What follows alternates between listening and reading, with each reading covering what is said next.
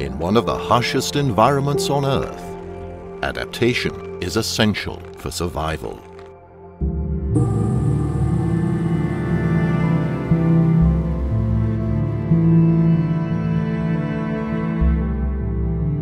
These are Adelie penguins, a species native to the icy waters of the Southern Ocean.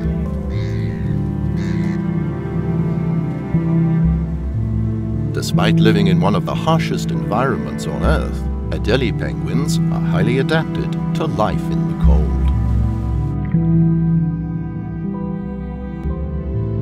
Penguins have a layer of insulating feathers that help them stay warm in snow and freezing water. They also have a layer of fat under their skin called blubber that helps them conserve heat.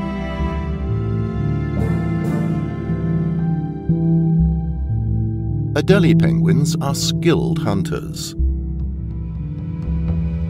preying on a variety of fish. They can dive to depths of over 500 feet and stay underwater for up to 20 minutes at a time.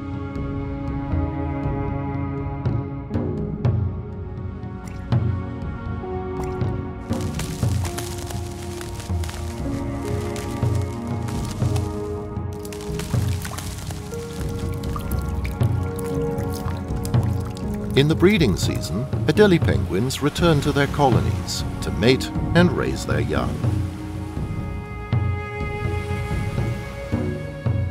The male penguins build nests out of rocks and defend their territory against intruders.